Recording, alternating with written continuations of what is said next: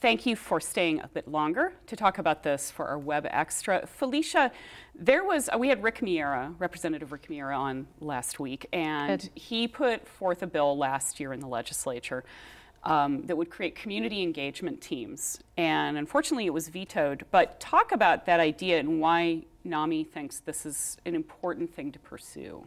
Uh, creating a uh, community engagement team, the purpose is to provide an alternative to family members, community members, and friends, besides calling 911 and engaging the police.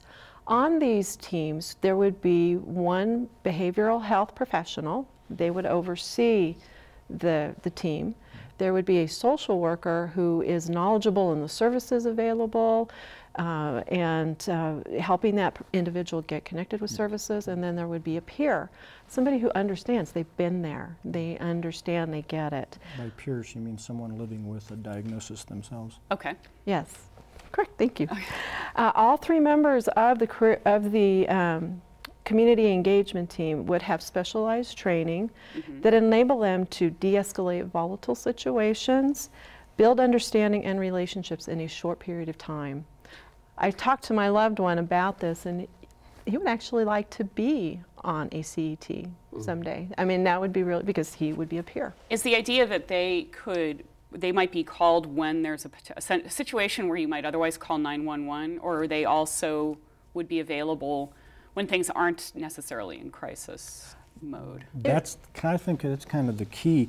You know, like I said before, when, when I've taught this family family class, one of the, one of the overriding themes I always hear in, you know, in these classes uh, is uh, that people are frustrated that the only help they seem to be able to get is when there is a crisis situation and they have to call 911 and the police come in, hopefully the CIT. Uh, but they really need something that they can do. When you have a loved one who is very psychotic, for example, but maybe they're not uh, doing anything that presents as a danger to themselves or others, which is usually when the police Right. get involved. Well, it would be nice for these family members to have some, some place that they can reach out to of uh, something like a CET that can go and engage with someone to try to help them get the help they need.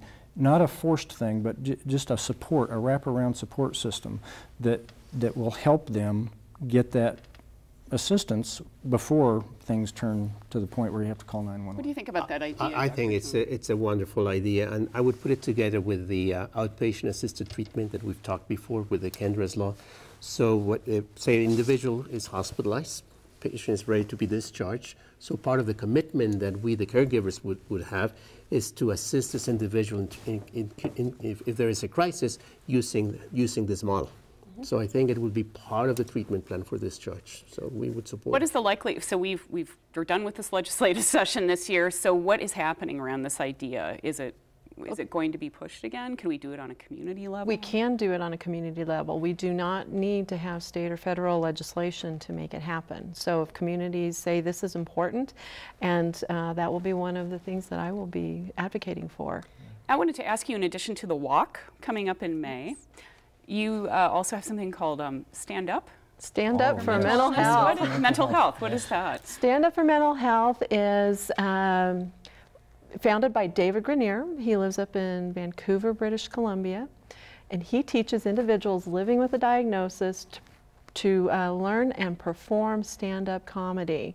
It is an awesome way for an individual who's dealing with the devastation and the trauma of a mental illness to stand up to their mental health issues. And it is so nice to have something positive when there's so much that's negative that's happening.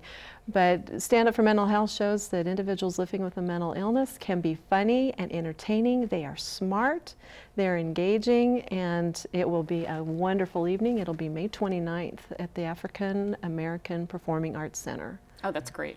Okay, well, we will put, I'll put uh, information about this and resources. If you all have resources, I'll put it up on our website. Okay. But I appreciate you all coming and talking about this. Thank you. Thank you for having us.